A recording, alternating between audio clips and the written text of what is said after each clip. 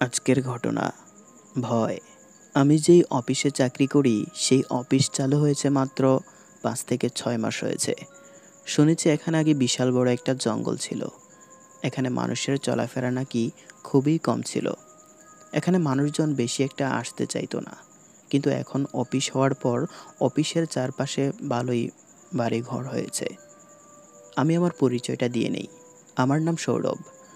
এখানে আমি চার মাস হয়েছে চাকরি করি। ঘটনায় ফিরে আসা যাক। এই অফিস দুই ভাগে বিভক্ত। এক ভাগ দিনে, আরেক ভাগ রাতে। আমি আজকে রাতে ডিউটি করছিলাম। আমি মূলত নিচতলায় কাজ করি। আজকে আমার কাজের প্রয়োজনে চারতলায় যাওয়া লাগতো। তখন সময় রাত তিনটা বাজে। আমি একা ছিলাম। ভাবলাম লিফটে যাওয়া যাক। তখন অবধি সব ঠিকঠাক ছিল। লিফটে ওঠার পর হঠাৎ কারেন্ট চলে যায়। ভয়টা তখনই মনে ঢুকে যায়। কারেন্ট যাওয়ার সাথে সাথে সব অন্ধকার হয়ে যায়। শুধু দেখতে পারলাম সাদা একটা আলো লিফটের দরজা দিয়ে ওপর থেকে নিচে নামলো। আস্তে আস্তে ভয়টা আরও বেশি লাগতে শুরু করল। তখনই হঠাৎ লিফটে আমি অন্য কারোর উপস্থিতি অনুভব করলাম। আমার মনে হলো লিফটে আমি একা নই। আমার সাথে আরও কেউ আছে। আমি ঠিক তখনই এতটাই ভয় পেয়েছিলাম যে আমি আল্লাহর নাম আমার মনে হচ্ছিল কিন্তু মুখে নিতে পারতেছিলাম না। আমি চোখ বন্ধ করেছিলাম। তখনই ঘটে অনাকাঙ্ক্ষিত এক ঘটনা। এক মিলি সেকেন্ডে কারেন্ট এসে আবার চলে যায়।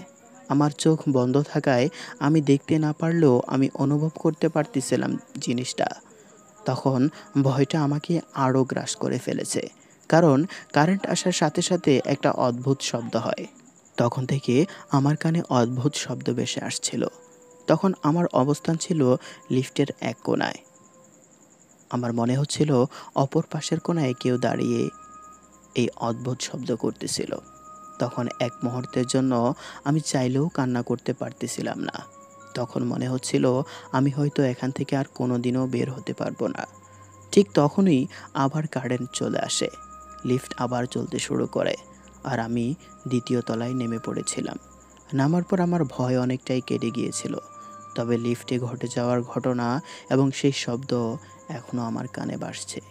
আসলে জানি না লিফটে কি সত্যি কিছু ছিল নাকি, সম্পূর্ণটা আমার মনের ভয় ছিল, তবে হয়তো এত রাতে আমি আর একা লিফটে ওঠার সাহস করব না। বন্ধুরা, এটা একটা সত্যি ঘটনা। তোমাদের মাঝে কেউ একজন পাঠিয়েছে তোমরা যদি এরকম ঘটনা পাঠাতে চাও, আমাদের ইমেইলে এখনই পাঠিয়ে দাও, অথবা আমাদের হোয়াটসঅ্যাপের গ্রুপে জয়েন হয়ে সেখানে দিতে পারো। ধন্যবাদ।